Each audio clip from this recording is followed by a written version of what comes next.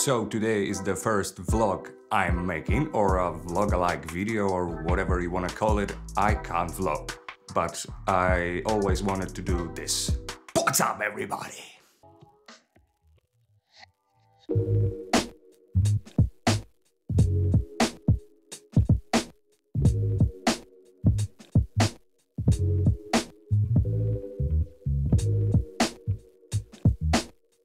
So the reason I'm here is that I'm moving from this place to another room and I wanted you to have continuity so I'm just telling you that I'm moving from bedroom to the living room. So the wall is going to change from gray to white and that's not important at all.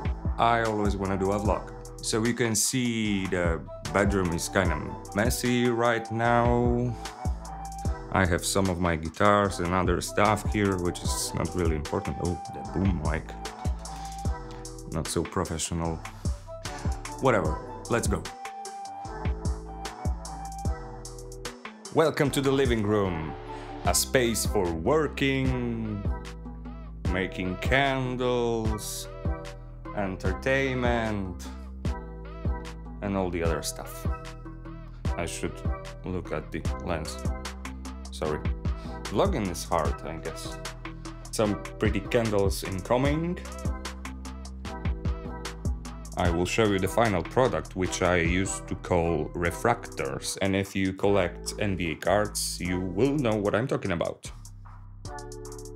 I should put my camera on the tripod. It will be easier.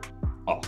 So this is my desk and this is my fiance's desk and my desk is temporary because my new desk will be made by a guy who makes desks. Yay! And now this room sounds shitty as hell. I have some reverb issues and bass issues because of the monitor standing too close to the wall and but I have some ideas for acoustic panels or stuff but they have to be pretty so my girl would accept them, which won't be easy. Anyway, as vlogging is hard and I'm not good at vlogging, let's go to the interesting part. Or more interesting, I guess. So now give me a sec to find some nice frame, install the boom mic, put the camera on the tripod, and let's start making videos from new place.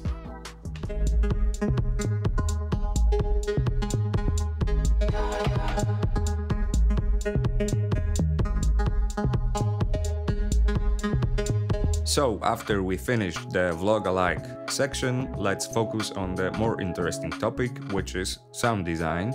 And today we are talking about a challenge from the sound effects guy, the ninth challenge called I challenge you to sound design this clip. And I thought it would be fun to take part in it for the first time. So let's see what Sean gave to his viewers.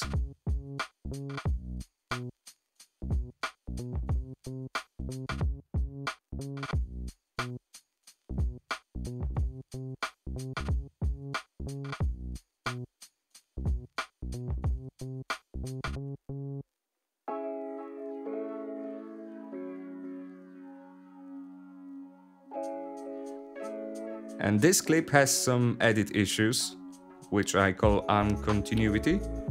Like some objects are falling in the first shot and they are still falling in the next shot.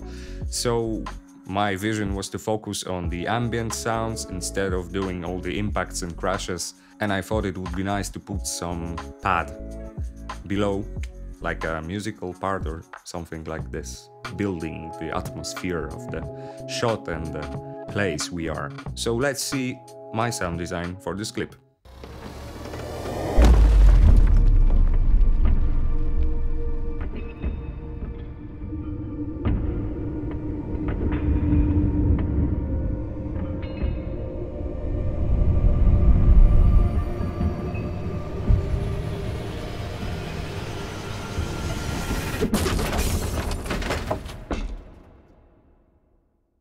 So after taking part in this challenge, I want to thank Sean for giving us opportunity to do this small pleasant work besides this big paid jobs we all do, I hope. I encourage you to take part in it. The deadline is 9th of March, I guess. You can correct me if I'm wrong, but I guess I'm right. So anyway, thanks for watching. If you like it, hit the like button. If you aren't subscribed yet, hit the subscribe button.